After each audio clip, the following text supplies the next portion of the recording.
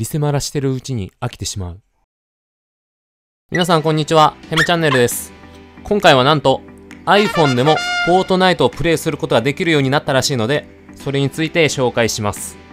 まずは iPhone でフォートナイトがプレイできなくなった背景として、去年、フォートナイトと iPhone の会社 Apple との間で、税金の話で裁判が勃発して、それが原因で去年の8月ぐらいからストアの中からフォートナイトが消えました。また、もともと iPhone にフォートナイトをインストールしてた人も、チャプター2シーズン3のまま止まっていたと思います。今回の動画で iPhone でフォートナイトをプレイする方法を紹介するのですが、別にそのお金のごたごたが Apple とフォートナイトの間で解消したわけではなく、その方法というのは GForce Now というクラウドゲームサービスを使ってフォートナイトをプレイするというわけです。GForce Now とは何なのか簡単に説明すると、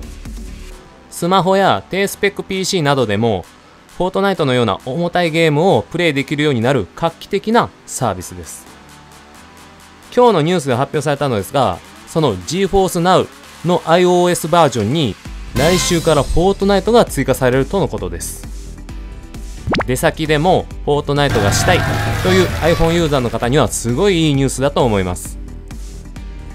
この GForce Now のインストールの仕方や使い方については、来週、その GForce Now に Fortnite がリリースされてから動画化しますので、よければこのチャンネルを登録してお待ちいただければ幸いです。